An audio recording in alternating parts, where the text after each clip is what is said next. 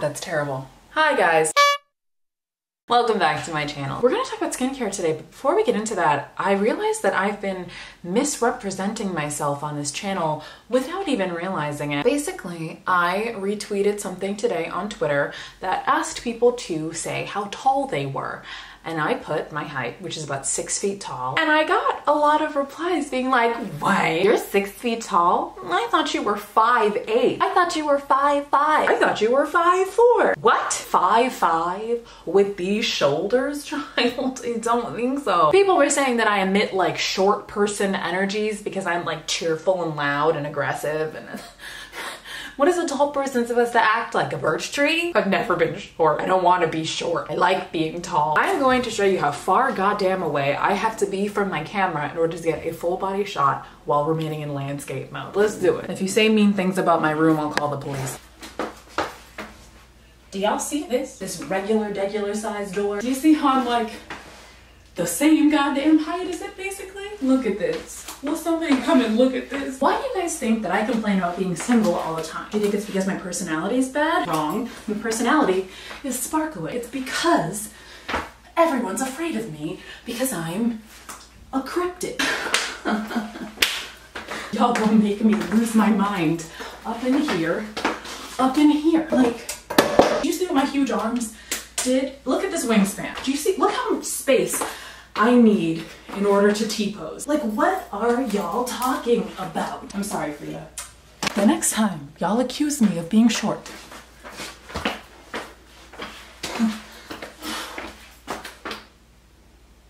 go to jail. This how you think I look at the world? Huh? Y'all got me so angry and so steamed up. I'm really about to take another sip of this disgusting beverage. Short five, five. Okay, let's actually talk about what we're here to talk about, which is skin care. People have asked me to make a skincare routine, and I've been hesitant to do it because one, I already made a skincare routine video like a year ago, but I looked ugly in it, so we're gonna redo it. Two, I have a unique method to my skincare, which is I forget to do it all the time. About four nights a week, I just sort of go to sleep without doing anything to my face. My skin looks nice because of genetics. And I talked about this in my first video, but I'm gonna spend less time talking about it in this one because I've already been through this whole thing. I have my dad's skin. My dad, for his entire life, R.I. freaking P, aha, uh aha, uh had amazing skin. He looked like a wonderful, like shiny candy apple for all of his life. He had amazing skin, and I inherited it from him. I have my mother's nose, you know, Viva Armenia and all that, and my dad's skin, and my mom's like neuroses and anxiety and fear of heights, you know, mom stuff. I wash my pillowcases with some relative frequency. My diet is horrible. I hate most fruit. And I'm weird about vegetables because one time, like five years ago, I was washing a bunch of organic kale, and while doing that, a bunch of dead beetles fell out of it. So, so it can't be my diet that's contributing to my wonderful, shiny, perfect skin. It's Shawn Mendes voice in my blood. You know, like it's it's been here. Maybe she's born with it, and yes, she was. But I still take some pride in having a skincare routine that I do feel like targets the things about my skin that I want to target. I wear very, very minimal face complexion makeup every day. If I don't skip it altogether, after sunscreen, I will put on perhaps a pressed or loose translucent or semi-translucent powder using a big fluffy brush. I used to wear pore filling dimethicone primers like the NYX Pore Filler, the Benefit POREfessional, what have you, on a daily basis. If I was going to forego any other face makeup, I would at least put those pore filling primers on. But I haven't really done that for about seven or eight or nine months at this point, just because I've kind of made my peace with whatever grievances I have about my pores. And also, I do think that since I've introduced chemical exfoliating into my routine a bit more, my pores have become less apparent in appearance. So that's fun for me. My skincare routine is very minimal. When I remember to do it, it does not take me very long. I feel like it's very like millennial trendy of me to be, you know, careening into chaos at all times. Am I advising you to buy every single product I talk about in this video? Of course not, because I don't have affiliate links with any of these, so it wouldn't benefit me at all. what I do for me is probably not going to work for you, or it might work for you. If you are me out there, why are you me? I'm me. What type of skin does she have? Well, I have always said that I have Sahara dry skin, but I think as I've gotten older, that's actually become less true. I think my skin is a little bit more oily than it used to be. I tend not to get any breakouts. When I do, I will get like little whiteheads or little like milia at different points of my face. That's happened less often now than it used to when I was like an early 20 something. Now I'm a mid 20 something, which as we all know is incredibly different. On the rare occasion that it's it's been especially too long since I've washed my brushes, I will get a standard zit somewhere on my face. I actually like the look of acne. Is that weird? I think it looks cute on most people that have acne. I have some issues with texture on my skin. Jesus. There have been times where I've woken up to find little pockets of small texture bumps all over my face. Sometimes this extends onto my neck and upper chest. The two most recent times this has happened, it's because I used some sort of moisturizer or sunscreen or sunscreen moisturizer that wasn't designed for use on the face, on my face. And I've clogged all of my pores at the same time. The way that I solved this is a bit controversial. I solved it with a walnut scrub. I know. I'm sorry, skincare Twitter. I'm so sorry, but it worked when the pore clogation is that much, what's worked for me in the past, time and time again, is literally sloughing all of it out there for like two days and then stopping doing that and being very gentle with it and not using any of my chemical exfoliation products at the same time because I don't want to like completely dissolve my skin off, which I know is like very naughty and very bad. And skincare Twitter is going to drag me by my edges for that. But I don't care, it worked and I got my skin back. So I'm not saying to do that, I'm just saying that is what worked for me. In general, even though my skin seems like it's becoming a bit more oily as I age, I do prioritize moisturization above most other things because I spent so long with my skin being especially dry. This is the 2% hyaluronic acid from The Ordinary. Can you see it? Can you see it? That's Grace Helbig's bit, not mine. I've been using this for several months now. Before I was using this, I was using the Trader Joe's hyaluronic acid, which is right here. It's holding a different skincare ingredient that I'll talk about in a bit.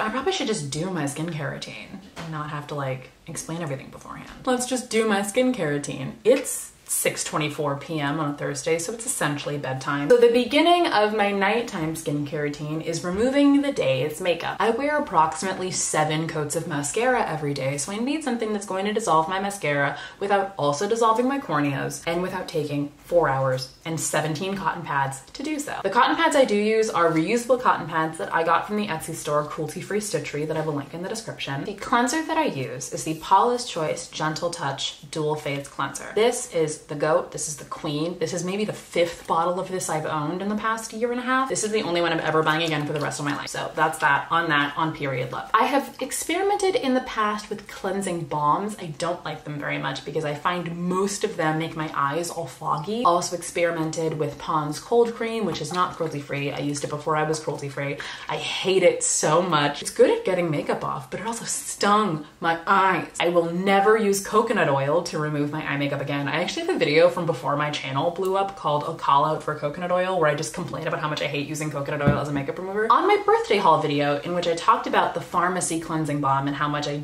was sort of neutral on it. A lot of people recommended one from a brand called Heimish that I haven't ordered because I forgot about it. like 17 separate people were like, have you tried this? And it's like, no, if I had, I would be talking about it in this video, but thank you for the recommendation. Gross. I like to hold my cotton pads against my eye for like 20, 30 seconds. Usually I'm watching a Jenna Marbles video whilst I do this. So the time just like goes by and it's like so gentle on my eyes. Like it's not even a problem. I love this stuff. I highly recommend it. I've never tried a better liquid makeup remover. Here we have like average person.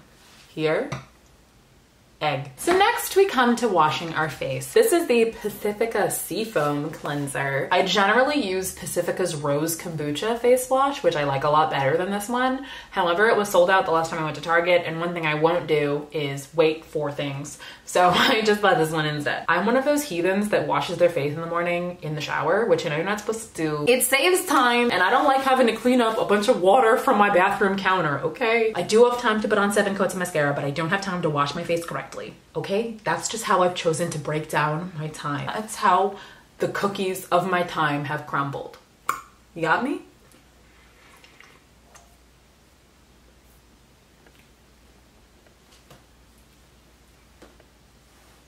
The other face wash I use, this is the Pixi Skin Treats Glow Mud Cleanser with 5% glycolic acid and aloe vera. This I bought on a whim like a week and a half ago, so it's not like a super like ingrained part of my skincare routine. I don't use this every single day. It depends on if I have chemically exfoliated my skin with another product the night before. Let's go wash our face. Let me just do a quick change.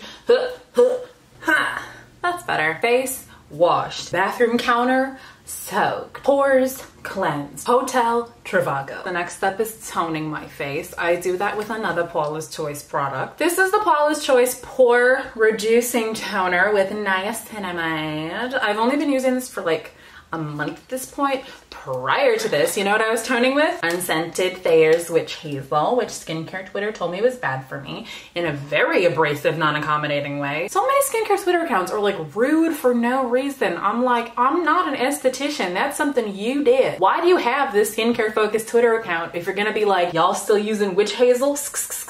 Like, yes, I am, because I don't know what the problem is with it, because you won't tell me. So I use this now because I was bullied. I, I, wasn't bullied, but people like me were bullied. So I'm using the same cotton pad I used for the dual face cleanser. I don't usually do this, but this is the last clean one I have because I really need to do laundry. Like we're approaching bikini bottoms as underwear level. I actually don't do that ever. I've never done that because I'm chubby, so it wasn't socially acceptable for me to wear bikinis until like 2014 anyway. And the only ones I buy are like the super lots of fabric high-waisted ones. Because the only person who can see my stretch marks is me and a very, very, very, very small group of other people. My face is the only part of my body that I tone. After we tone, I use my hyaluronic acid. Like I said, I'm currently using the one from The Ordinary. One drop here, take it over the bridge of my nose.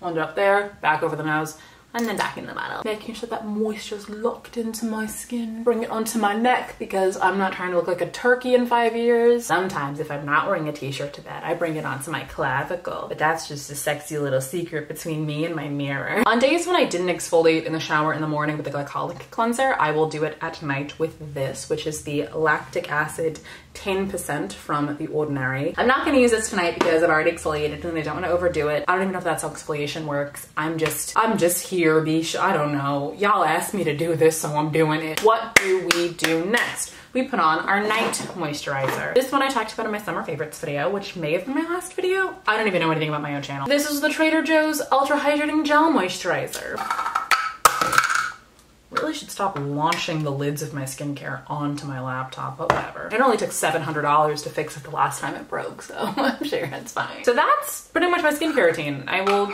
do this and then I will go to sleep. Where does this deviate? In the mornings, what I do in the morning. What do you do in the mornings, Nisa? Well, everything is the same up to and including the hyaluronic acid serum. Then instead of the Trader Joe's moisturizer, I do some sunscreening moisturizers. This is the Jack Black Double Duty Face Moisturizer that I talked about in my summer favorites video. I quite like it. I've used it for like five years. I use like about three pumps of this in the mornings. And then I follow that up with the Krave Beauty Beet Shield sunscreen. And that's the entirety and extent of my morning skincare. Do I use masks? That's a great question, Nisa. Thank you, other Nisa. Not really. I have this mask that I bought on a complete whim from CVS from Yes2. It's the Yes to Tomatoes Detoxifying and Hydrating White Charcoal Mud Mask, but I haven't used it in a while and I don't really find that it does much for me. I also have the Indian Healing Clay Bentonite mask, but I haven't used it in like six or so months because it's a huge goddamn hassle to make. Like you gotta like put it in a bowl and then get a spoon and like put water or honey or apple cider vinegar. And it's like, I don't have six hours to prepare a face mask, okay? Like I have things to do. I have dumplings to make. I have pictures of Chris Evans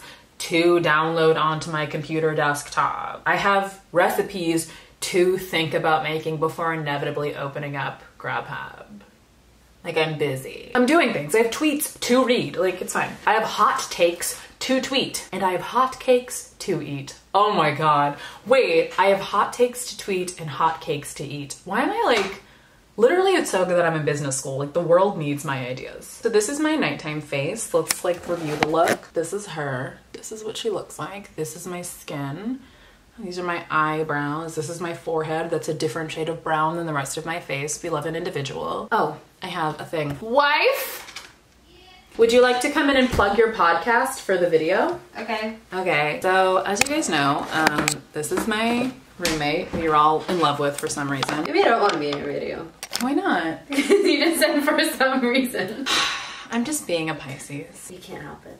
I can't, unfortunately. We all have flaws, except for Ivi, because she's perfect, I guess. Or like whatever. So, the reason I've called in this beautiful siren is because she has a podcast that I would like you to listen to, but more so than listen to like it on Facebook. You don't actually have to listen to it, you just have to like it. You can read it and leave a review You can leave a review also. on the iPod. Is there an Apple? No.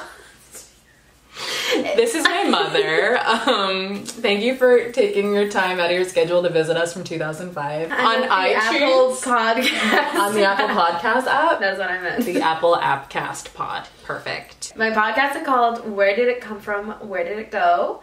And me and my other best friend Anna talk about uh, Oops. my other best friend. Okay, so actually, never mind. So we do one of us talks about like an invention that we use today and where it came from, and the other one talks about something that we stopped using and we talk about where it went and why we stopped using it. We've covered bikinis, bras, and corsets, contact lenses. We've covered the wooden swimsuit. We've covered flying cars. Um, Mothman? We will cover Mothman. So it's very exciting, and obviously, you're all already in love with her, as we saw in the comment section of my drunk video. Why don't you guys put up or shut up and like the podcast on Facebook and review it in the Apple Podcast app and listen to it? it is also on Spotify. It's also on Spotify, Stitcher, Stitcher, Podbean, which is apparently the Android Podbean, which is apparently the Android podcast. podcast App. app. So, okay, you can leave now. Okay, I'm gonna buy ice cream. What kind do you want? Are you buying Ben and Jerry's? Yes. Oh my god. Can I get can I get New York super fudge chunk? Okay. Okay. Okay. Okay. Okay. Bye. Bye. Bye. Bye. So anyway, back to what's important me. Um, so that's a skincare routine. If I missed anything, which I probably didn't because I use like five products, let me know. If you have any further questions, let me know. If you would like my skin, my address is 123 YouTuber Lane in Los Angeles, California, and you can come and take it from me. But not without a fight. Okay? Thank you for watching my video, but before you leave, I'm gonna need you to do a quick favor for me. If you could go ahead and have an amazing day for me, that would be incredibly moisturizing and very refreshing. Oh, speaking of which, sometimes I finish off my routine with a spritz or two. Sometimes I use things like the Glossier Rose Water because of course I do. Mmm, Emily Weiss's tears. Ugh. Now that I'm dewier than Julia Mazzucato's dreams. If you would like to interact with me betwixt uploads, you can follow me on Instagram and Twitter at Nisipisa. You can also check out my second channel, Extra Nisipisa, where I post music and covers like once a month, linked in the description. Thanks again for watching, and don't forget to use code Nisipisa for 10% off at checkout at your local Pour store. Bye.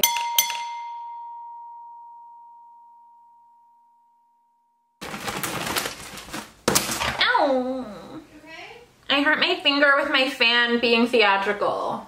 Oh no. It's okay. I love drama. Ha ha ha.